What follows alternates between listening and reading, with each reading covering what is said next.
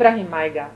Slováci ťa poznajú ako aj Češi, teda ako mm-hmm. speváka, zabávača, moderátora, showmana, teraz uh, veľmi... Herca. Herca, teraz mm. veľmi aktívneho na Spisovateľ. sociálnych... Spisovateľa, presne, na sociálnych sieťach. No. Ale uh, kto je skutočný Ibrahim Majga? Človek. Človek. Doslova do písmena snažím sa byť človekom. To znamená vlastne, že pre mňa byť človekom znamená byť uh, mať srdce, byť úprimný, nápomocný a proste ako je uh, prispôsobilivý, uh, tesný, spravodlivý. Proste život. Čo pre teba znamená šťastný život? Aký je to život? Už po prvom rade ako je, šťastie je len tým, že sme mali príležitosť tu byť. Že sme sa vyskytli. To je obrovské šťastie. Proste, že možno by boli iné bytosti, ktorí by tu boli a nie sú, ale my sme tu. Každý ráno, keď sa dovudíme, tak máme e, opäť príležitosť naozaj proste robiť niečo dobré. Hej? Niečo zanechať. A to není, každé ráno sú milióny ľudí, ktorí sa nezobúdajú. A keď sa zobudíš ráno, tak je to veľká oslava. Hej? Šťastie, že sme sa vyskytli, že sme tu. Šťastie, že sme zdraví, že sa môžeme smiať, že nic nás neboli, že vidíme, počujeme, vieme rozprávať, vieme chodiť, máme všetky ruky, nohy. To je obrovské šťastie. I keď sa napapáme, tak trávime to, to čo sme napapali. To tiež není dané každému. Hej, proste. Hej. Šťastie je, že aj, že máme okolo seba, že máme príležitosť mať okolo seba taký podobný, ako sme my. Ktorí takisto pochopili ten život, ako sme my chápali. Hej. Ľudia, ktorí sa vedia smiať. Aj to je obrovské šťastie. Šťastie, že máme úprimných priateľov okolo seba. Úprimný. Hej. Šťastie je, že, že máme deti, ktorí nás milujú. Unconditional love.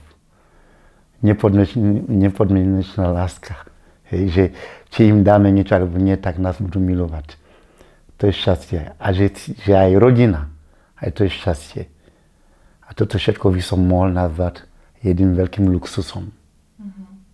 A ako by vyzerala podľa teba tá spoločnosť, kde by všetci ľudia boli šťastní? E, pre mňa tá spoločnosť je taká, že vlastne, že oni, pre nich ako je proste, že tá, tá najväčšia hodnota, to najväčšie bohatstvo je toho druhého, že ho majú. A že vlastne, že moje bohatstvo není ten dom, ani to auto, ani tie peniaze, ani moje bohatstvo si ty. Že, si, že si tu ty so mnou. Lebo keby som mal všetko a nebola by tu noha, tak všetko sa rovná nula. Mm. Nemám sa čím, s kým porovnávať, nemám sa pred kým chváliť, nemám sa s kým podeliť. Proste zero, nula. Takže my si to neuvedomujeme, že vlastne, že všetko má význam len preto, že sú tu ľudia. Mm-hmm. A preto tí ľudia sú tí najdôležitejší. Ja som človek, ktorý som sa narodil v Afrike. Som tam žil 22 rokov a zbytok života som prežil tu na Slovensku. Tak vlastne, že ja aj tak som nezanevrel na tú Afriku. Viete, hovorí sa, že, že pupotnú šnúru nikdy neostrihneš. Proste. To aj keď to babetko sa narodí, keď ostrihneš, aj tak to, ono to tam je také virtuálne, tam je stále, ako je to, dieťa je stále spojené so svojím, so svojou maminou. Hej. Tak toto sme my a so svojím, so svojím ako je, pôvodom vlastne. Takže ja s tou Afrikou sme stále spojení, aj keď som odišiel na Slovensku, stále sa vraciam do tej Afriky, lebo sú tam hodnoty, ktoré ma stále držia. Takže cestujem stále do tej Afriky, jednak tam mám aj mamu stále, otca už nemám, aj súrodencov, aj priateľov, ktorým som vyrastal a tak ďalej. Aj tá kultúra celkového, v rámci ktorej som vyrastal. A a snažím sa vlastne že, uh, dávať Slovákom tieto hodnoty, ktoré oni nezažili, nemajú to ako odkiaľ mať. A myslím si, že bolo by fúpa, keby nevyužili mňa, aby poznali tieto veci, čo vlastne čo im prinášam. Hej. Takže ja, keď chodím do tej Afriky, vždy, keď cestujem tam, cesta smer letadlom, tak som strašne šťastný. Ako malé detsko, ako keby som vyhral jackpot. A keď idem naspäť, tak som smutný. A to je pre mňa signál, že niečo asi není v poriadku. Hej? A poviem vám, ako je to ma šokovalo najviac, keď, keď takto cestujem. Najväčší šok je čo? V Afrike tí ľudia žijú zo dňa na deň. Oni dneska ešte zajtra nevedia, čo budú jesť a čo budú dávať deťom. Je to tak málo. Ale to samozrejme, to, to nepôjdem do detailov, prečo to tak je. A, a tí ľudia, aj napriek tomu, že majú tam akože to, toto trapenie, že vlastne, že, no, my to nazývame trapenie, hej, samozrejme a keď že nemajú, že ledva prežívajú a tí ľudia sa stále usmievajú. Proste, že ideš okolo človeka, ktorého nepoznáš a on sa na teba usmieva. Dobrý deň, pane, ako sa dneska máte? Je proste, a, a proste, že oni majú automaticky ten pocit, že musia komunikovať navzájom. Hej, proste, že ako je, e, e, sa zaujímajú o toho človeka, že ako sa má aj sa ťa pýtajú vlastne, že máme taký kmen, ktorí sú dogonovia, keď sa dvaja dogovne stretnú, len ten pozdrav trvá pol hodinu. A ako sa dogodní zdravia? Počujem, ako to, oni sa zdravia v jazyku, oni už, vieš, tým, že to sú takéto uh, uh, savany, je vlastne už ki, uh, niekoľko stoviek uh, metrov ďalej, tak vidíš, že ten človek sa vynorí a už od toho momentu, keď ho zbadáš, tak ho začne zdraviť. Hoci ťa nepočuje. Áno, pane, ako sa máte? Všetko je v poriadku, rodina je v poriadku, deti sú v poriadku, babka je v poriadku, deti je v poriadku a práca, všetko v poriadku, zdravie, ste všetci. A toto si rozprávajú aj jeden aj druhý a stretnú sa, ani sa na seba nemerknú, prejdú a idú ďalej a stále sa zdravia, kým sa ne strasa, ako je v podstate. To sú, to, toto je úplne iná kultúra. Hej? A, a jednoducho tí ľudia komunikujú a žijú v symbióze, hej, samozrejme. Usmiatí, veselí. Toto ja zažívam, keď príjem v Afrike, aj na letisku, keď odchádzam. A potom pristanem vo Viedni. A mám hned ten pocit, ako keby tu je smutok. Asi niekto zomrel. Nikto sa nesmeje. Ľudia sa medzi sebou nebavia. A keď potrebuje sa niekoho nie, nie, niečo opýtať, tak ten skoro od teba utečie preč. Ako keby náhodou, ako keby si im ho chcel ublížiť, alebo ne, nebojda, že aby si od neho niečo nepotreboval. Ľudia prestávajú byť ľuďmi, prestávajú spolu komunikovať.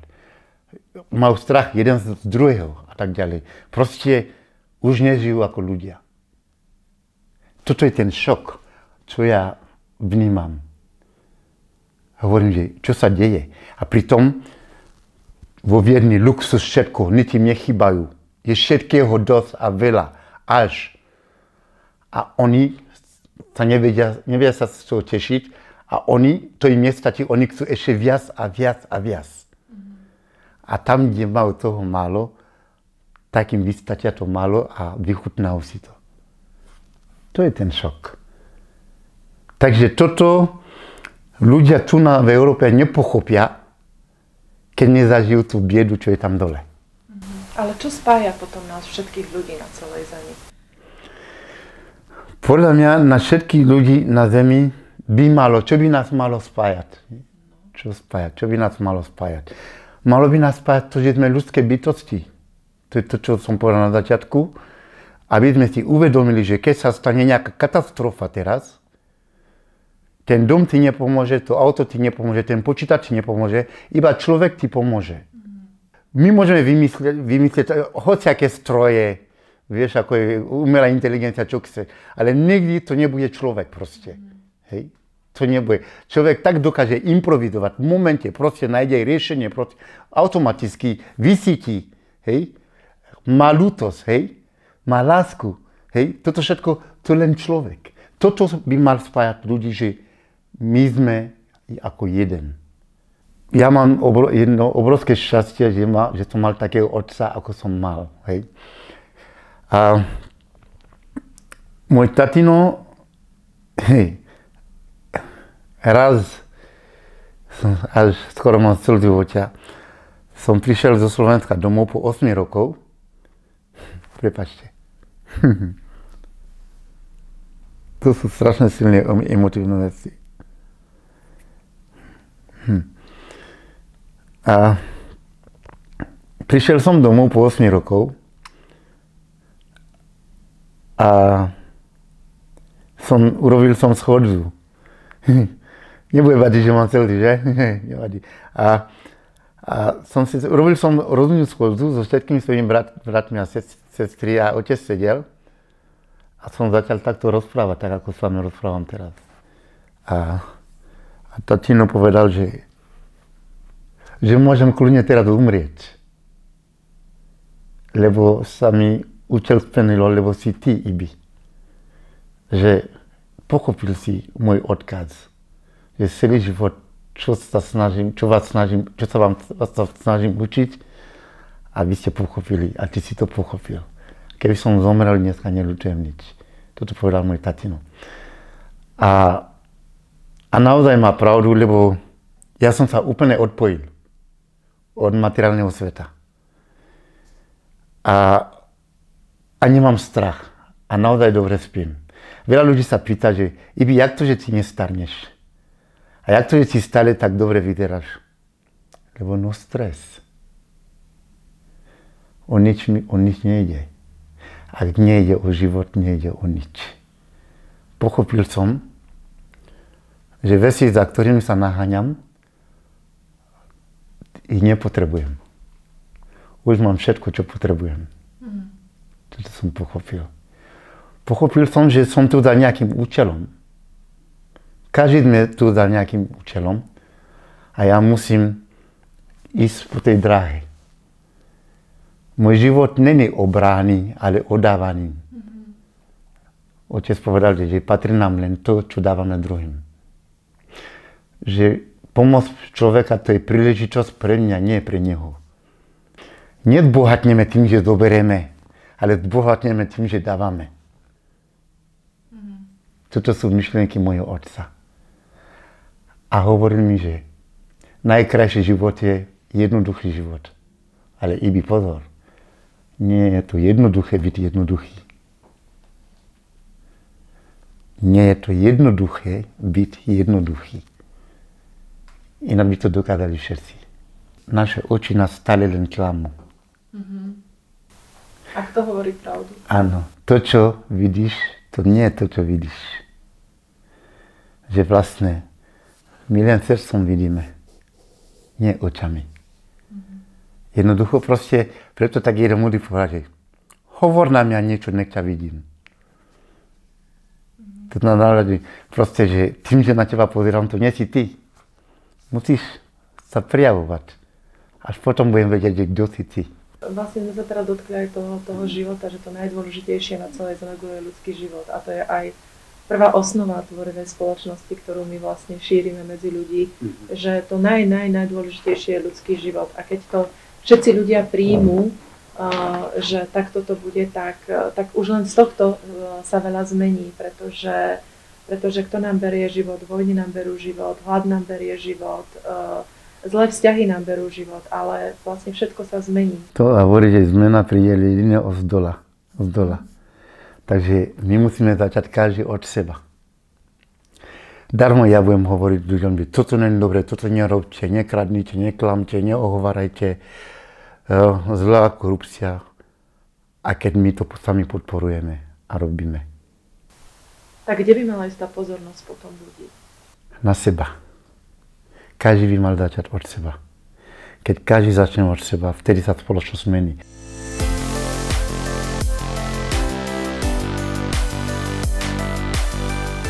Ty pôsobíš ako v médiách, hej, dajme mm. tomu, že si umelec. A čo by malo sa v médiách vysielať? Poprvé by sme mali dostať do, do médií morálni ľudia. Ľudia, ktorí majú morálne hodnoty. Ktorí naozaj podstate celý život poznáme ich, ako boli dobrým príkladom. A sú to pre nás vzor, vzor, vzor. A aby sme ich prezentovali, aby oni nám povedali, ako prežili ten svoj život, aké majú tajomstva, aby mali odkaz pre mladých ľudí, ďalšie generácie. Lebo viete, že žiak bude presne taký ako jeho vlastný učiteľ. A keď má zlého učiteľa, tak ten žiak nebude dobrý. Mm-hmm. Čo je to? Tak vlastne, že pokiaľ my nebudeme mať tí správni ľudia, na, tí správne miesta, miesta, tak vlastne, že nikdy sa nepohneme. Len regresujeme, ideme len dozadu. Mm-hmm. To znamená vlastne, že e, to, čo tie noviny nám prezentujú dneska, alebo dajme tomu, že tieto televízie a tak ďalej, proste e, veci, ktoré nie sú skutočné hodnoty, len nám kazí len mládež. Tak mladí ľudia dneska majú iné idoly, ako by mali mať. Mm-hmm. Tak čo by sme tam mali zaradiť viacej? Ja si myslím, že ono to závisí vlastne, že či je to zabavný program, alebo či je to... Ako je, e, verejnoprávna televízia by mal mať e, priestor pre rôzne spoločenské diskusie o, o rôznych problémov, čo, čo my tu máme v, v, v spoločnosti nie sa tak sa správať ako komerčné televízii. Komerčné, tak ako to neviem či. Preto je to verejnoprávna televízia.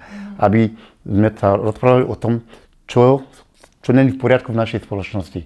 A vlastne, aby boli pozvaní ho, hosti, ktorí, áno, ktorí majú do toho čo povedať. Odborníci, ktorí naozaj sa tým zaoberali celý život, ktorí sa to učili, alebo ktorí majú také skúsenosti s tým životom, ja stále hovorím, že e, problém sveta a aj našej spoločnosti není nič iné ako hlboký úpadok morálky. Mm-hmm. Môj otec mi hovorí, že, že oni žili, že jeden pre všetky a všetky pre jedného. A dneska my žijeme, že každý za seba. Jeden náš africký prezident povedal, že ak chcete zbohatnúť, nechoďte do politiky. Lebo ide sa do politiky, aby ste slúžili ľuďom. Krásne. A ty si vlastne kandidoval aj do Európskeho parlamentu ano. za priamu demokraciu no. a mal si heslo, uh, no tam vlastne si hovoril, ponúkol som svoje služby, voľte ma, ak mi len veríte a tiež si hovoril, že môjim bohatstvom sú ľudia. Áno. A je to pravda. A ide o to vlastne, že keď robili aj prieskumy na 10 tisíc mladých ľudí, tak ja som mal 5,2. Ja som mal viac ako Moschid, ako CNS v rámci prieskumov. A čo bola tá tvoja motivácia? Prečo si šiel do politiky? Uh, hovorí sa, že, že uh, deje sa to, čo sa deje dneska, to je daň za to, že slušní ľudia odmietajú ísť do politiky. Lebo všetci hovoríme, že a oni sú všetci tam jedna banda. Aj keď si dobrý, keď tam pôjdeš, tak oni ťa potláčajú, nebudeš môcť s nimi fungovať. Ja hovorím, prečo? To je od tebe vlastne. Keď ty si taký, že, že, že máš tie svoje hodnoty, ktoré ani za milión nedáš preč a jednoducho nepodarí sa im ťa zmeniť. Hej? Proste ja, ako je, ja, ja čo cítim v krvi niekde, že, že všetci sú tam ticho len preto, že peniaze tam hrajú úlohu. Hej? A moc, hej, samozrejme. A niekedy majú aj nož na krku. Vzhľadom, že nebudeš poslúchať, tak ťa zničíme. Hej? Zničíme teba a zničíme tvoju rodinu. Takže strašia tých ľudí častokrát. My sa snažíme o to, aby ľudia zvolili iný formát, ten tvorivý, tak ako si hovoril, kde bude na prvom mieste ľudský život, mm-hmm. kde proste uh, ľudia budú mať zodpovednosť nielen mm. za seba, ale aj za život druhých. A mm. vlastne aj do tej politiky, vieš, uh, v podstate, keby išiel aj teraz aj ty taký, uh, ako človek, ktorý má svoje morálky. Ten spotrebiteľský systém je veľmi silný. Proste je, ten je, je, je. Mm, je ťažko. Niektorí ľudia to neustanú uh-huh. a začnú takisto proste byť s nimi, uh-huh. alebo proste odídu z tej politiky, že, že to nedajú. Hej, je to, ale, problém je systém. Ja hovorím, že vieš, kedy prehráš, keď to vzdáš. Uh-huh. Keď to nevzdáš, nikdy neprehráš. Uh-huh. To je vlastne to. Prehral len ktorý, ten, tí, ktorí to vzdajú. Dokonca sa hovorí, človek zomrie vtedy, keď to vzdá, ten boj. Iná stále môže bojovať. Francúzi hovoria, že ceux qui vivent, ce sont ceux qui luttent. Prežijú len tí, čo bojujú. No, môžeme povedať, že život je aj radosť. Je to, áno, je to radosť, áno, samozrejme, ale ja som chcel len povedať to, že vlastne, že že my, že my, my musíme, my musíme kráčať ďalej. Nemôžeme, že urob všetko, čo urobíš, ale neostane nikdy na mieste. Aby som, aby som sa jen tam dostal, musel, musel by som robiť tento krok. Krok za krokom. Pýta, pýta, aj dom takto stávaš. Hej? Postupne.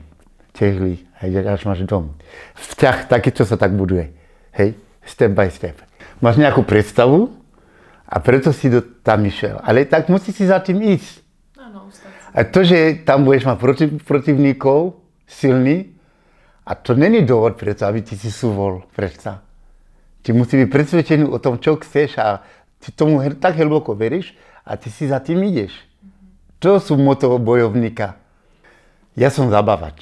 Hej, celé tie roky zabávam ľudí. Hej. Dostávam také otázky vlastne, že na, na internete, že i by tie, počujem, i by ti, ti, ti, teba ako ti si zvážnil, tak ty si zabávaš, tak to ťa máme radi a tak ďalej. Ja hovorím, že áno, ja by som veľmi rád vás zabával aj naďalej, ale aká by to bola zabava, keď vidím, že ledva ste slobodní, ledva nemáte čo jesť, nemáte čo dať deťom na stole, ste nešťastní ľudia, tak ja musím proti tomu bojovať, aby ste neboli. Mm-hmm.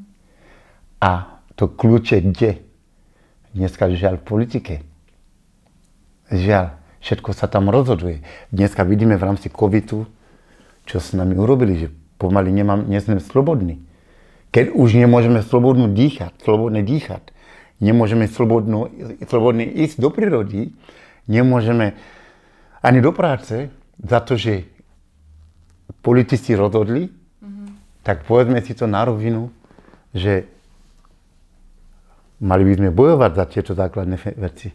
Čo pre teba znamená taký výrok, civilizácia, celé ľudstvo rastie, nie revolučne, ale evolučne? Čo je tá evolúcia pre teba, celé ľudstvo? No.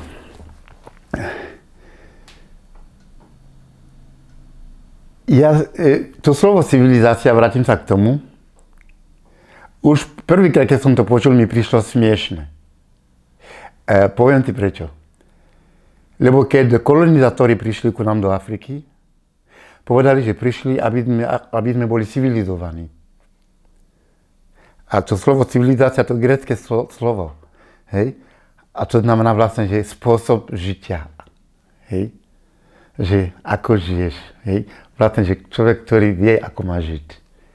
A oni ku nám prišli, aby nás učili žiť. Ako keby my sme, spôsobom, ako my sme žili, že to není žiadny dobrý spôsob života. Mm. Takže to je skôr úražka na našu kultúru. Lebo spôsob života človeka je ako býva, ako rozpráva, ako sa zabáva, ako sa stravuje, ako straví svoj voľný čas. To je jeho kultúra, jeho spôsob života. A oni prišli, povedali, že nie, vy musíte začať tak fungovať ako my.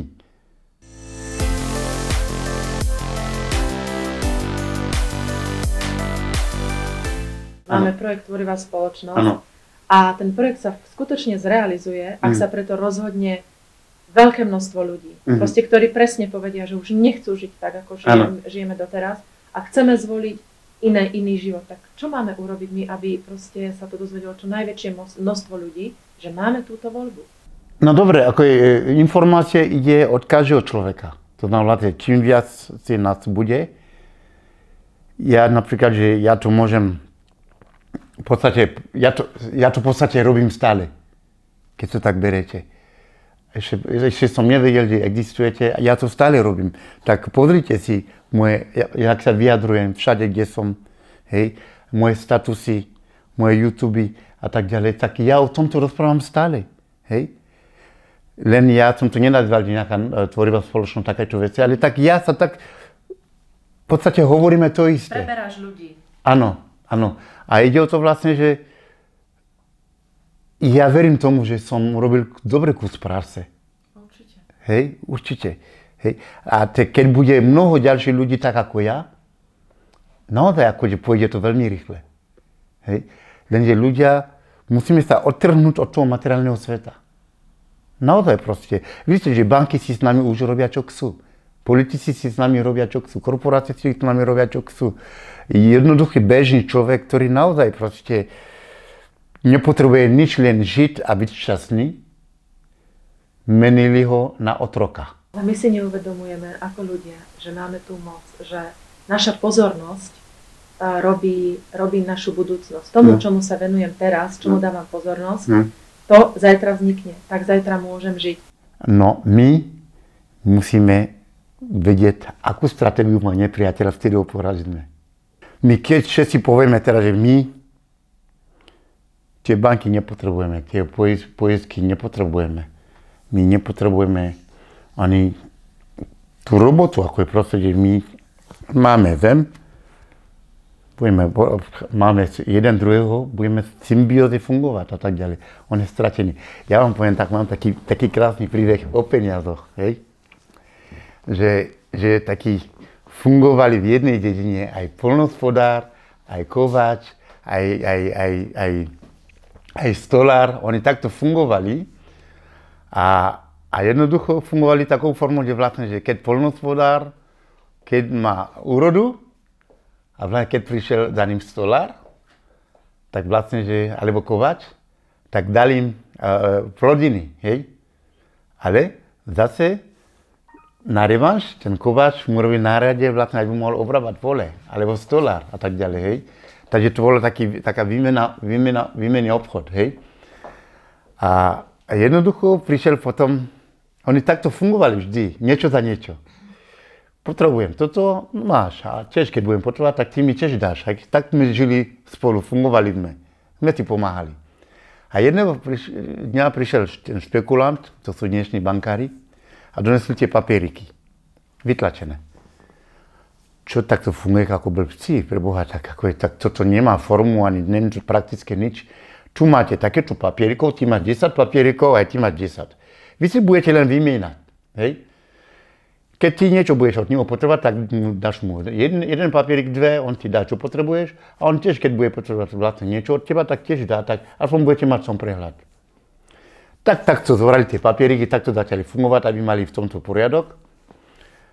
A potom jedného dňa prišiel ten kovač za polnospodárom, že už nemáme doma ryžu, potrebujem od teba ryžu, tu dám ti dve papieriky. A polnospodár mu hovorí, že ale tak ja už ryžu nemám. A že prečo? Je ten pán, čo nám donesol tie papieriky, donesol nejaký 100 násobok a všetky zobral. a bolo to. To sú peniaze. My vytvárame hodnoty a oni donesú tie papieriky a zoberú to, čo my sme vytvorili. Ak sa hovorí v Biblii, kto na vás kamenom, vy na ňo chlebom. A ja hovorím, že každého človeka, ktorého stretnete, keď je zlý, hej, keď stretnete zlého človeka, to, že je zlý dokonca, a to neznamená, že nemá v sebe aspoň trošku dobro. Mm-hmm. On má toľko to zlo, ale má takéto dobro. Dobre, ale keď on do vás ide, jeho tendencie vás urobiť zlým človekom. On vás chce meniť ako seba. Lenže vy nesmiete pripustiť, vy to musíte urobiť naopak, jeho meniť na dobrého človeka. To znamená vlastne, že v ňom je to malé dobro a to malé dobro vám hovorí, že halo, urob niečo, nech si všimne, že som tu aj ja. Chápeš? Ak, za, ak, ak zabijete vraha, ste vrahom. Ak okradate ľudia, ste zlodejom. Ak proste, že ak ubližíte človeka, tak takisto ste vinní, hej? Čo, to znamená vlastne, že nesmieme sa pomstiť a musíme sa snažiť tí ľudí len akože prebúzať nejakým spôsobom, prevychovať, ako je otvoriť im oči, zmeniť my dokážeme len meniť tým, že vlastne, že my mu ukážeme in, iné, alterna, iné alternatívum. Hej. Nie byť tak ako oni. Ja sa s ním stretávam pravidelne na sociálnej siete, kde ma v kuse uražajú, nadávajú hejteri, rasisti a tak ďalej. Také vy si nevie predstaviť, že čím sa tam ja stretávam. Ale ja, mne stačí len úsmev a srdiečko. Tým, že ja som e, verejná známa tvár, hej, ja mám veľkú úlohu využiť tú, tú popularitu, aby som, aby, aby som ukázal cestu mladým ľuďom. Ale ja sa musím vyjadriť, ako ja teraz ako v rámci toho covidu, teraz čo sa deje ľudia tu, známe osobnosti sú ticho. Ja niekedy si poviem, prečo sú ticho? Lebo najhorší zo všetkým je strach samotný. To ma život naučil. Keď sa niečoho bojím, skôr sa mi to stane, ako sa mi nestane. Strach je nás prvý nepriateľ. Hej? To, že sa budem bať o tom hovoriť, alebo do toho isto neznamená, že sa to nestane. Hej. Preto vlastne, že my, my musíme byť ako, musíme byť spolu, jednote je sila, keď nás rozdeľujú, tak nás rozoberú ako zápalky. Hej? Ale my, keď budeme spolu, tak my sme silnejší. Vlastne my máme moc. Moc nám patrí. Oni sú naši služobníci. Hej? Hoci sa nám snažia dať najavo, že oni sú niekto a my nie sme nič. Oni proste, oni sú opití, oni sa opili mocou. Hej? Ale oni si neuvedomujú, že oni sú tam kvôli tomu, že my sedíme a sme ticho. Hej? Ale kvapka vodu na kameň, kým do nej nerobí dieru. Oni, ten deň, keď to praskne, oni naozaj nebudú sa mať kam skryť. Toto si ne, oni neuvedomujú. Poďte, ako nek, nek študujú históriu, čo tu bolo v minulosti, lebo história sa v podstate len opakuje.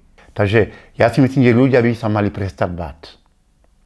Toto je moje, to čo ten, sa nemali, nemal sa čoho báť, lebo ak si oni hovoria ešte k tomu, že sú veriaci, ja ako veriaci človek, ja sa môžem báť len Pánu Bohu. Ja sa nikoho iného nesmiem bať. Môžem prosiť len Pánu Bohu. Nikoho iného nesmiem prosiť. Ak takto nerozmýšľam a nekonám, to znamená vlastne, že to sú len prázdne slova, že som veriaci. Nie som. Takže buď som, alebo nie som. A keď som, tak podľa toho nech sa riadím. Mm-hmm. Takže nech sa prestanú bať. Nech sa pozrú do očí reality a poďme to riešiť veci, na ktoré oni sú zavesení, vlastne dávali im najavo, že keď toto nebudete mať, nebudete žiť. Ja žijem v jednej izbe a ležím len na jednej posteli. Ja viac nepotrebujem. Nepotrebujem naozaj zámok, nepotrebujem na to vilu, nepotrebujem nič. Lebo na čo mi to je? Také zbytočné. Hej? Takže oni im ich presvedčili, že potrebujú veci, ktoré oni naozaj nepotrebujú. A oni, oni obe, obetujú celý svoj život preto, aby mali tie veci. Ja som celý život nemal som žiadny úver, žiadnu pozičku, žiadny leasing. Nikdy. Lebo ja som vždy povedal, že sa budem prekrývať len takou dekou, akú mám. Zabudnime na to, že všetci začnú sa takto správať. Ale môžeme bojovať, aby väčšina ľudí sa začal podľa toho správať. S príkladom, samozrejme. Hej.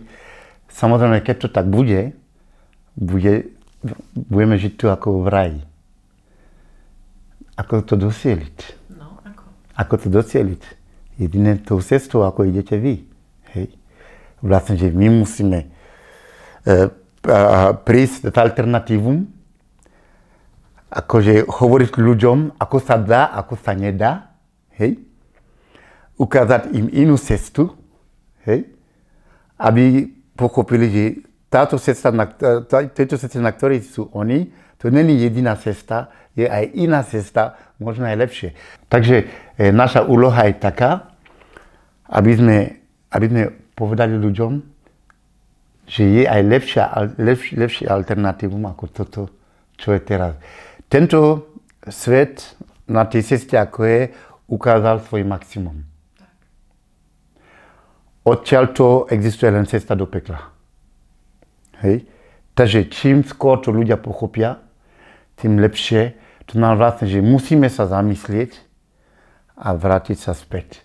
A naozaj to, to sú veľké spoločenské debaty, filozofické debaty, potom ľudia, páncer mi hovorí, že e, rozmýšľajú si ľudí, ktorí si sadnú a povedia, že dobre, tak poďme to. Lebo ten, tie peniaze, ten materiálny svet ukázal svoj maximum naozaj proste. Lebo my, e, náš cieľ malo byť, aby, všetci, aby maximál, maximál, maximálne ľudí sa malo dobre. Lebo Jediné je to dobré, keď väčšina ľudí sa tu bude smiať a bude láskavia, priateľský a tak ďalej. Vtedy to je dobré. Ďakujeme veľmi pekne za tento rozhovor. Bol veľmi inšpirujúci, nie, inšpirujúci nielen pre nás, ale verím, že pre všetkých našich divákov. Ďakujem. A tešíme sa, že spolu začneme budovať e, lepší svet pre nás všetkých. A ešte chcel by si niečo odkázať? No, ja ďakujem za príležitosť. Príležitosť byť s vami, lebo ste tri naozaj ako tie príjemné dámy príležitosť, že, že sa môžem takto vyjadriť, ako aj pre vaši, ako aj vašich sledovateľov. Príležitosť, to, že vlastne som zistil, že nie som sám, že, že ste aj vy, lebo zistujem, že vlastne, že sme spolu a vždy som si to myslel, bola otázka času, lebo ja hovorím, že v ranaku v rane sa dá, rovný si rovného hľadá. Takže to bola len otázka času, kým by sme sa spojili my a ďalší a ďalší ľudia ešte prídu, ktorí nás hľadajú ono to všetko má svoj čas. Hej? Ja verím tomu, že, že čaká tento náš svet len krásnu budúcnosť, len ono sa to potom, ako proste my sa musíme spojiť, aby sme to realizovali čím skôr v mene naše deti a tí, ktorí po nás prídu.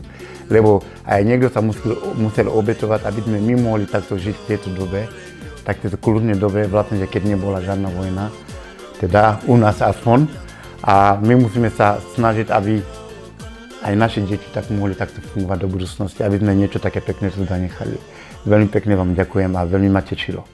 A teším sa na spoluprácu. Super, aj my. Ďakujem. ďakujem.